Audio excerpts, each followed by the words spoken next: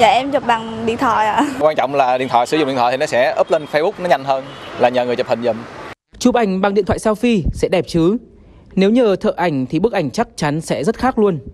Người ta có hàng trăm lý do để dùng điện thoại chụp ảnh. Còn ông Hưng thì chỉ có một lý do cho việc vẫn gắn bó với nghề chụp ảnh dạo suốt gần 40 năm.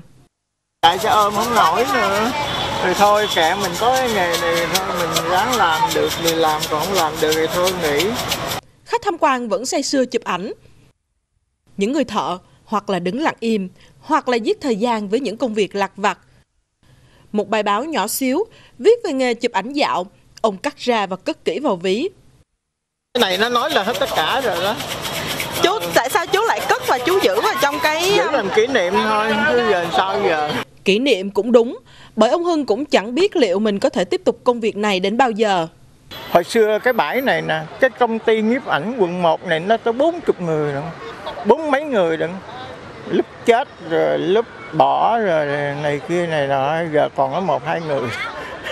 Ngoài này từ sáng giờ tôi hỏi năm sáu khách rồi Cả chục khách rồi mà đâu có người nào chụp đâu. Chụp cái ảnh mà đẹp á Người ta lấy người ta nói ở beautiful. Là người ta trả tiền.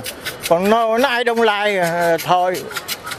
Coi như không có đồng bạc nào hết trơn đó, hình ảnh tôi ai đông Lai cũng nhiều lắm á. Nhiều khi lúc mình chụp á thì cái hình nó đẹp, mà lúc mà mình đi rửa ra cái mặt nó nhăn cái lại à biết làm sao giờ nay đông Lai vậy thôi, chứ giờ sao đâu lấy được tiền người ta. Cha thì chụp hình xong rồi cái truyền lại cho con, như vậy thôi. Tới đời tôi là hết rồi đó. Con tôi giờ nó không không chụp hình nữa. Nó nói thôi, để nó đi à, bê bát, bê bưng cái gì cắt ờ, cứu hơn, nó nghề chụp hình của ba thấy không không khá. Vẫn bám trụ, dù có ngày cũng chẳng kiếm được đồng nào, bởi về một góc độ nào đó, họ cũng là những người nghệ sĩ.